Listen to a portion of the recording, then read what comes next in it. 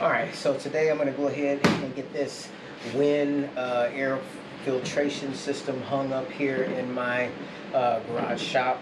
Um, I have a um, DIY kind of filtration system that I've been using just for a little bit of time because uh, before I was just coming out here and not wearing proper dust protection and that type of stuff uh, simply because when I would wear my glasses, my glasses would fog up. So um, just trying to keep the air a little bit cleaner, maybe keep the lungs a little bit healthier. So let's go ahead and get this started. And you have these uh, bolts that come on the top, which you're supposed to take out. So I'm going to take all four of these out. Actually, I'm going to go turn off that air filtration because it's kind of making noise. All right, so let's get this last bolt out. And so I have all four of those out. Um, it comes with these uh, uh, devices here to hang from the ceiling. You've got four of those.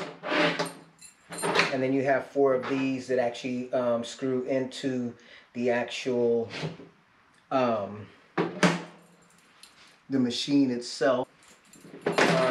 And then you have four lock uh, lock nuts. So the directions say to screw this on.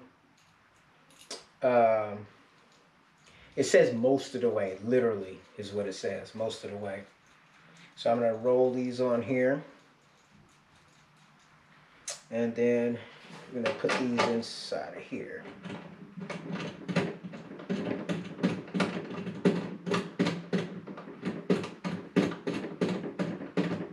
See how fast I can get this all done because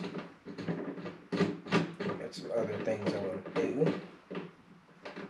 Okay, so there's okay. So now I gotta go ahead and uh, drill some holes uh, in studs, and uh, I'll use my drill. And I think that's all. I don't need this. Just make sure my bed's smaller. Okay. So let me get all the cameras set up to uh, point up to where I'm going to hang it.